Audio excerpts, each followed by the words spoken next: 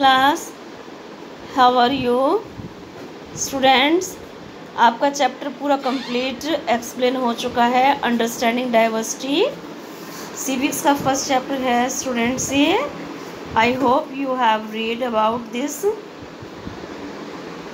ये चैप्टर आपने अच्छे से रीड किया होगा. आज हम करेंगे स्टूडेंट्स एक्सरसाइज एक्सरसाइज आपको ये देखिए, ये मैं भेज रही हूँ, ये आपको अपनी नोटबुक में लिखनी है और लर्न करनी है।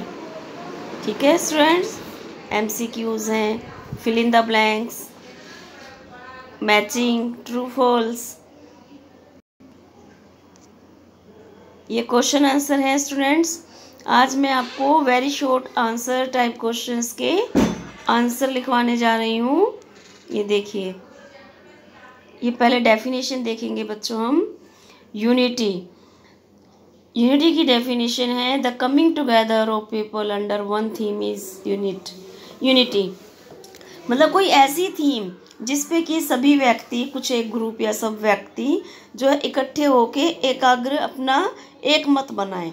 उसी को यूनिटी कहते हैं। है ना? एक साथ आके किसी चीज़ पे अपना एक मत बनाना ही ऐसी यूनिटी कहलाती है।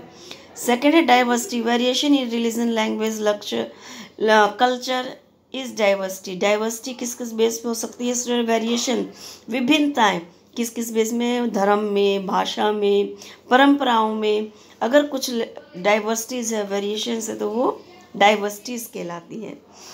थर्ड है dialect the way a language is spoken in a particular region means उपभाषा। एक तो भाषा होती है, एक उपभाषा। जैसे कि अपनी एक लोकल भाषा बोली जाती है, उसको डायलेक्ट बोलते हैं। है ना, जैसे हरियाणा हरियाणवी है। जैसे हरियाणवी कोई वैसी भाषा तो है नहीं, कहीं रिटर्न में आपको दिखाई दे। एक ये बोली जाने वाली ब्रज भाषा है है ना? एक क्या नाम है? हरियाणी भाषा है। तो ये भाषाएँ जो कि लोकल लेवल पे बोली जाती हैं, वो इनको डायलेक्ट बोलते हैं, उपभाषाएँ बोलते हैं।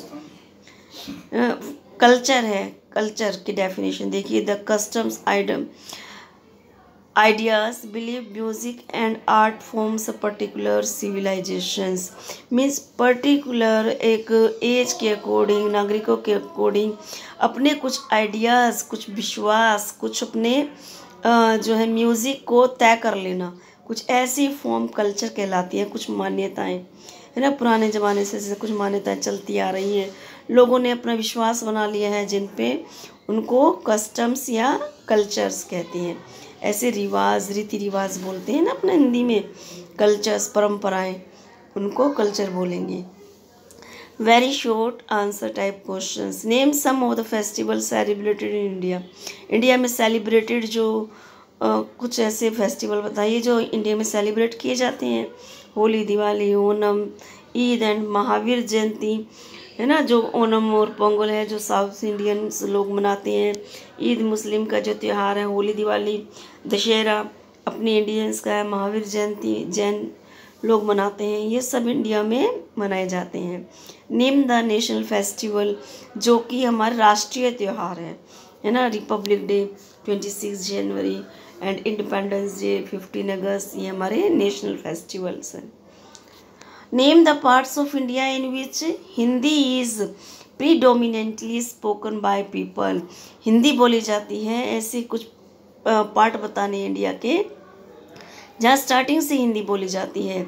जैसे कि छत्तीसगढ़ में, दिल्ली में, झारखंड, उत्तराखंड, बिहार, इन ये ऐसे ज़िले हैं जहाँ पर ये ऐसे स्टेट हैं जहाँ पर हिंदी स्टार्टिंग से ही बोली जाती है। ज़्यादातर लोग मोस्टली पीपल हिंदी बोलते हैं।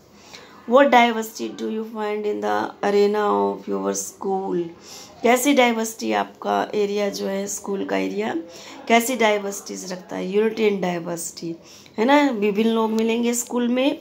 कोई किसी एज का, कोई गर्ल है, कोई बॉय है, कोई किसी धर्म का है, कोई किसी जाति का। बट सब में यूनिटी है। जैसे आप कोई किसी जाति का है, कोई किसी जाति का है, कहलाएँगे क्या? डीएस पब्लिक स्कूल है ना? ऐसे ही एक यूनिटी एकता मिलेगी स्कूल में। List down the few dance form of India India की कुछ डांस की फॉर्म बताइए। कथक है कथकली है। कुचिपुड़ी, मणिपुर, बिहू, गरबा, घूमर, ये सब डांस की फॉर्म है, जो कि इंडिया में अलग अलग पार्ट में फॉर्म की जाती हैं। और राइट स्टूडेंट्स कल हम short questions and long questions के आंसर राइट करेंगे एंड लर्न करेंगे। Good day students